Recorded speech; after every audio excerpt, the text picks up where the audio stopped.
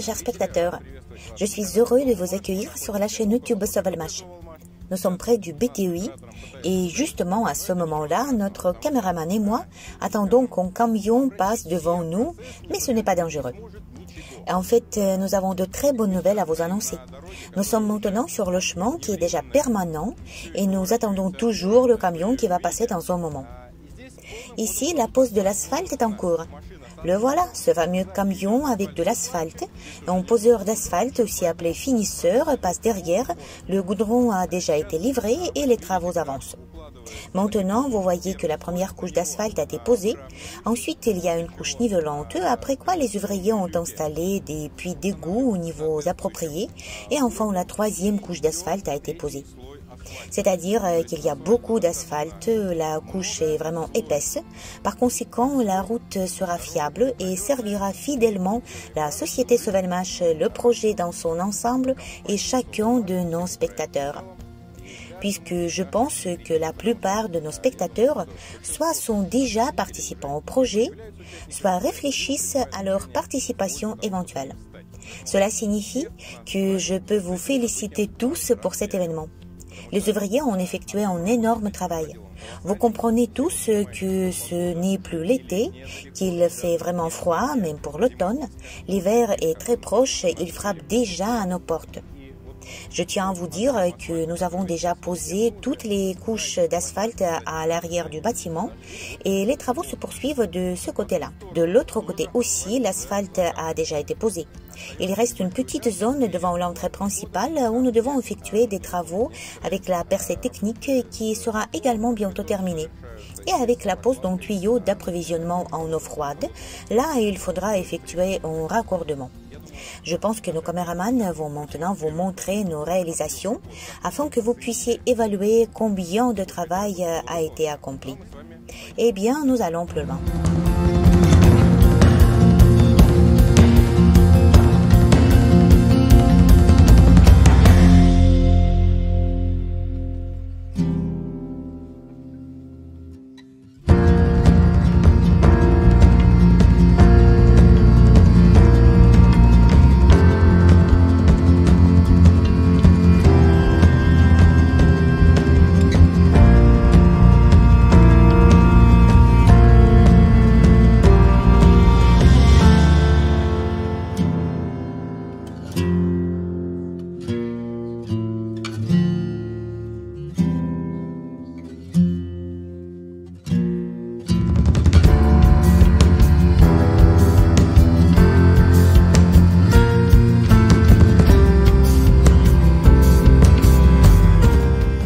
Sommes déplacés à l'entrée principale du bâtiment administratif et technique. Derrière moi, vous voyez une énorme quantité de terre. J'espère que vous vous souvenez de ce que nous avons déjà dit dans nos vidéos précédentes. La densité d'installation de réseaux de viabilisation est assez grande et la profondeur de leur installation est différente. Il n'est donc pas possible de creuser tout le terrain en même temps. Par conséquent, nous avons dû terminer un travail puis commencer un autre. Maintenant, nous voyons à nouveau des tas de terre, mais dans un proche avenir, tout sera nivelé. Par endroits, cette terre se trouve déjà sur une couche compactée où le remblayage avec du sable des pierres concassées a été effectué.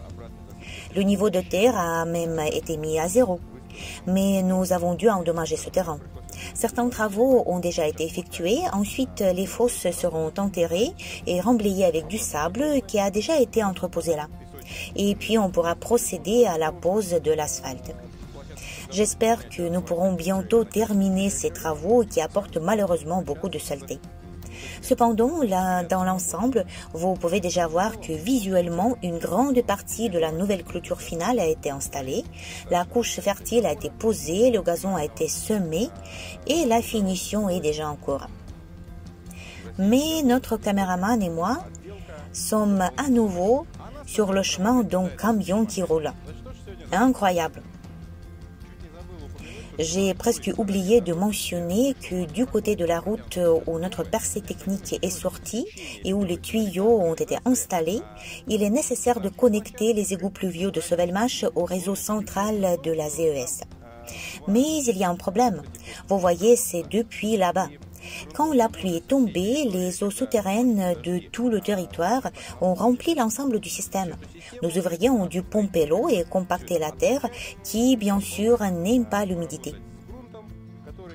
Et à présent, ils sont en train de reconstruire cette chambre de raccordement des égouts pluviaux. Le processus est rapide, les anneaux ont été imperméabilisés et à présent, les ouvriers les descendent déjà.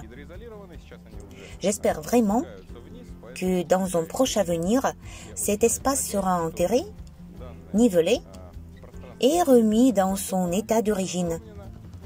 Et peut-être même mieux. Nous nous sommes déplacés au rez-de-chaussée du bâtiment administratif et technique. Nous voyons beaucoup de travail actuellement en cours et c'est assez bruyant, on va dire. On y fait quoi? La préparation des murs pour la peinture est déjà effectuée dans ces locaux. Le réglage des portes est effectué afin qu'elles se ferment sans lacunes, sans fente, correctement ou doucement. Autrement dit, comme cela a été conçu à l'origine. Vous pouvez également voir un canon à chaleur diesel qui fonctionne et qui chauffe à présent l'air dans ces locaux pour que les ouvriers qui s'occupent de la finition des murs puissent sécher les compositions et commencer la peinture. C'est-à-dire que nous utilisons ce matériel pour accélérer les travaux. En outre, parallèlement, des travaux sont en cours pour fournir de la chaleur au système de tuyauterie afin de passer déjà à un système de chauffage permanent. Les électriciens sont maintenant engagés dans la pose et la connexion du câblage des réseaux de viabilisation pour connecter le système de passage et de contrôle dans tout le bâtiment du BTI. Nous avons déjà dit qu'il y aurait des passes magnétiques dont l'utilisation nécessite l'équipement approprié. Pour cela, une ligne spécialisée doit être installée et bien sûr des ordinateurs doivent également être mis en place pour traiter les données enregistrées de tout ce qui se passe dans le BTI. En général, le travail est en cours. Dans l'escalier que nous vous avions déjà montré, la peinture a déjà été réalisée. Un autre événement important, c'est l'installation d'éclairage, notamment des ampoules fluorescentes à lumière du jour, qui a commencé dans cet escalier. Nous avons commencé ces travaux par les escaliers, puis nous les effectuerons aussi dans les ateliers et dans les bureaux, et dans un proche avenir, nous voudrions abandonner l'éclairage temporaire et passer à un régime permanent. Parallèlement à cela, l'installation de systèmes de lutte contre l'incendie sur les portes et tout ce qui est associé est en cours. Nous sommes au premier étage du bâtiment administratif et technique. Nous marchons déjà sur la chape d'égalisation récemment effectuée. Elle est déjà presque terminée. Il ne reste que le revêtement de finition qui sera effectué. Là aussi, les ouvriers s'occupent de la finition des murs des futurs bureaux. Ne les empêchons pas de travailler et allons plus loin. Vous pouvez voir que le travail effectué est très grand, je dirais même titanesque. Si nous regardons le plafond, nous verrons que le système de ventilation, la haute, les lignes de viabilisation en général, les supports de fil et l'électricité ont déjà été installés ici. Et là, vous pouvez voir l'entreposage des systèmes de ventilation qui seront bientôt installés. C'est l'équipement qui va pomper de l'air dans les tuyaux. Ces systèmes seront montés aux endroits appropriés. À chaque étage, nous avons aménagé des pièces spécifiques avec des grilles spéciales installées sur les fenêtres où la récupération de chaleur et l'émission de l'excès seront effectuées. Il y aura également une sorte de système de filtration qui est très important. Vous voyez donc que les travaux avancent et que la construction approche de sa fin. Pour le deuxième étage, je pense que nos caméramans vous le montreront également. Il y a aussi une chape d'égalisation du sol. L'installation des réseaux de ventilation est également en cours. Et après avoir terminé le travail de finition ici, nous allons monter plus haut.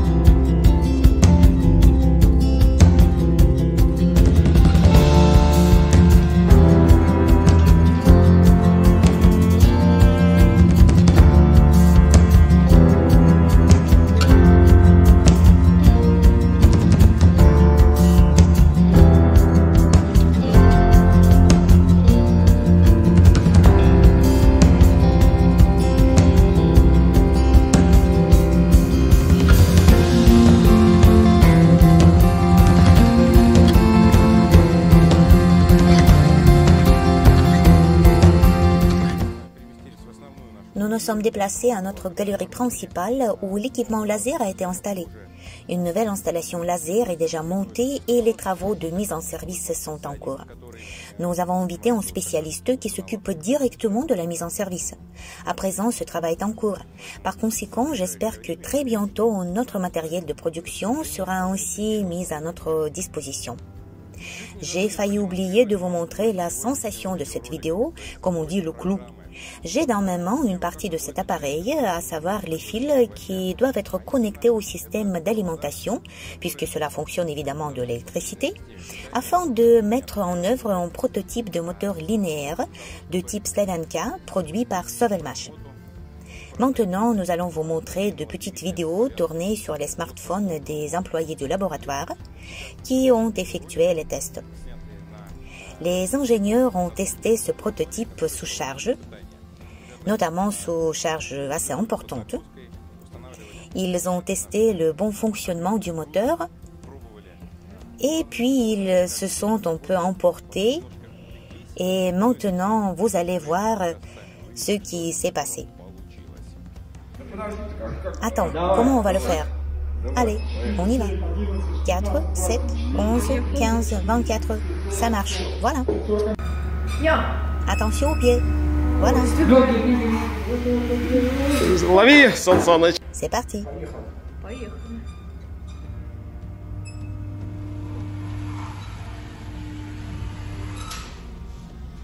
Vous pouvez constater que le moteur est fiable, il maintient la charge, offre des émotions positives et en effet, il convient de noter qu'il s'agit d'un moteur asynchrone linéaire avec des bobinages combinés uniques en son genre.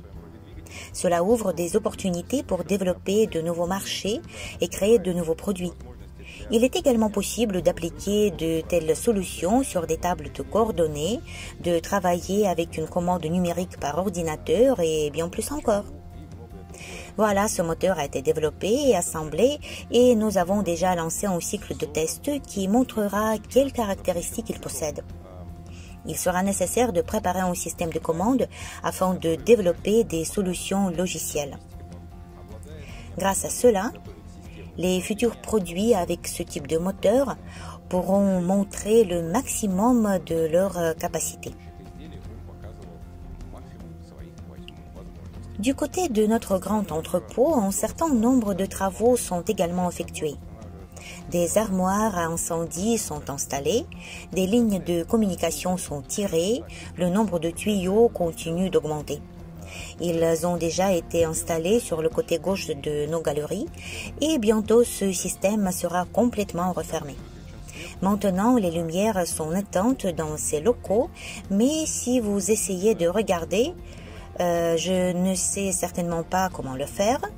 Laissez-moi essayer d'aider notre cher caméraman et faire comme ça. Mais non, cela n'a donné aucun résultat. Voilà, euh, vous voyez les armoires électriques qui sont maintenant ouvertes et c'est là que des câbles sont tirés. Un grand nombre de ces câbles de section assez grande permet au bâtiment du BTOI de fonctionner. Et maintenant, comme beaucoup d'entre vous commencent déjà à deviner, le réseau électrique est connecté sur un circuit constant. Félicitations. Eh bien, encore une fois, je vais utiliser la lumière de mon smartphone. Maintenant, nous sommes dans la pièce où nous allons installer une grande armoire, mais aussi ces énormes étagères avec les produits finaux que nous allons produire, les matériels pour leur production et en général pour la production de petits lots d'essai. Tout cela sera stocké dans un entrepôt que nous avons déjà vu et sur celui-ci aussi. Par conséquent, dans notre tâche est maintenant de mettre de l'ordre dans ces locaux et d'enlever l'entreposage temporaire de matériel. À l'avenir, nous allons y installer de grandes étagères très pratiques. Maintenant, nous nous déplaçons déjà dans la pièce que tout le monde connaît parfaitement, à savoir la chaufferie. Regardez combien de travaux ont déjà été effectués. Le calorifugage des tuyaux a déjà été effectué, les systèmes d'automatisation ont été installés, ainsi que les armoires, les appareils de contrôle et, différents capteurs. Il reste encore un peu de travail et il sera possible de mettre ce système sous charge maximale et de le rendre fonctionnel. Cependant, il est encore nécessaire d'effectuer le câblage et la distribution de ces communications, de connecter ces systèmes au réseau commun et de commencer à chauffer d'autres locaux. Allons voir la pièce voisine. Non, nous n'allons pas y aller car il y a maintenant des ouvriers qui travaillent dans la chaufferie et parallèlement, ils commencent déjà à travailler sur le centre de traitement et de purification de l'eau. Il y aura des filtres spéciaux qui prépareront l'eau pour qu'elle réponde à certaines normes et exigences pour le fonctionnement du système. Parce que si l'eau n'est pas préparée, le système dans lequel il est utilisé tombera rapidement en panne. Nous n'avons certainement pas besoin de cela. De toute façon, nous n'avons rien à craindre car tous les travaux nécessaires sont déjà en cours. Pourtant, nous sommes sortis sur notre plateforme improvisée où le chargement et le déchargement des camions avec nos produits seront effectués.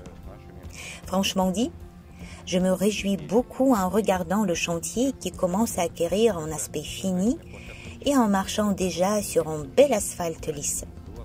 Je pense que ceux qui aiment faire du patin à roulettes, du skateboard ou des équipements similaires apprécieront la qualité de l'asphalte. C'est magnifique. Je ne peux pas le dire autrement. C'est là que j'aimerais terminer cette vidéo. Merci pour votre attention, pour euh, votre participation, votre soutien et votre confiance parce que tout cela est devenu possible grâce à des gens simples qui ont été unis par un seul objectif, une seule idée. Une tâche unique a été formulée et elle est effectuée de toutes les manières possibles. Par conséquent, à ce jour, en octobre 2023, nous voyons que notre bâtiment est presque fini. Il reste relativement peu de travail pour le mettre en service et commencer à travailler déjà à part entière. Mais néanmoins, aussi beau que cela puisse paraître, il reste encore beaucoup à faire. Nous devons terminer la finition, nous devons installer des meubles, du matériel de bureau, des équipements spécialisés, un serveur pour le système de contrôle, pour le stockage des données, pour la conception de futurs moteurs, mais aussi pour notre studio vidéo au centre de presse qui tourne des vidéos et vous montre toutes ses réalisations. Nos collègues travaillent avec d'énormes ensembles de données. Nous avons stocké beaucoup de vidéos et de photos et tout cela nécessite également des capacités et du matériel. Par conséquent, tout cela doit être rassemblé dans le même bâtiment au même moment. Ensuite, nous pourrons passer la commission d'État, mettre les signatures appropriées et commencer une nouvelle course commerciale pour lancer sur le marché les produits développés par la société Sovelmash.